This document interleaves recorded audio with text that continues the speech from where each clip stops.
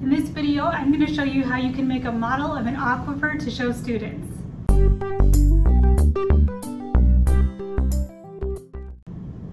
When I would teach aquifers to students, they would really struggle to grasp what they looked like and how they worked. Um, when I started teaching, I remember one year I told students it's kind of like an underground swimming pool, which confused them more because swimming pools are these big hollow empty spaces, which is not what an aquifer is.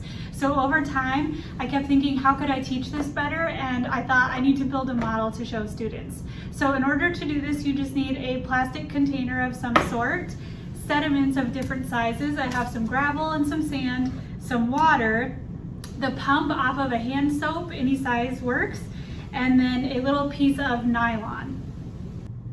All right, so to start, we're going to take our container and we're gonna fill it with different size sediments. So if you've already talked about sedimentation and deposition with students, they should know that the heavier sediments, the bigger ones, go towards the bottom. So I'm gonna start off with the gravel and I'm going to put that towards the bottom.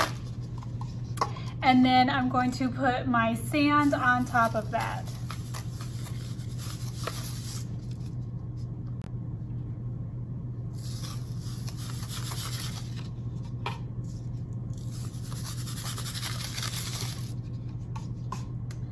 All right, if you have any um, grass trimmings or plants that you want to put on the top on one side, you can do that as well.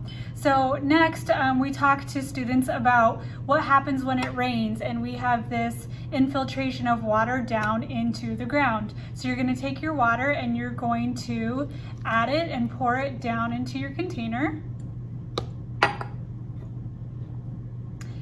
and you can talk to students about how um, where the level of the water table is. And so if water is above the water table then we're going to see a lake or a stream form. And then if it's below the water table then we have this zone of saturation. Um, as we can see this the sand is slowly getting full of water. Okay? So what is the pump for so this is going to represent a well. So how do we get water out of the ground? So um, before you just stick it right into the sand, a lot of times the sand goes into the pump and clogs it. So uh, if you take a piece of nylon, I cut up some old pantyhose because honestly, who wears pantyhose anymore? I haven't worn them in years.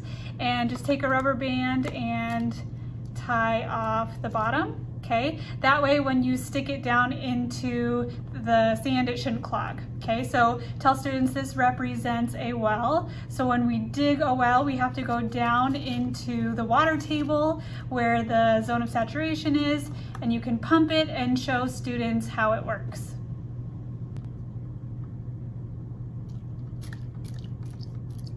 Okay, so you can see as you pump it, water comes out of the well. So once I showed students this and we could label the different parts, you could even take um, little pieces of paper and stick them on. So um, the water table, you could label the side, the zone of saturation, an aquifer, a well. Um, I saw a lot of light bulbs go off and it really helped them. So hopefully you can try it with your students. If you enjoyed that video, be sure to check out my channel. I have a lot more demo lab ideas for you.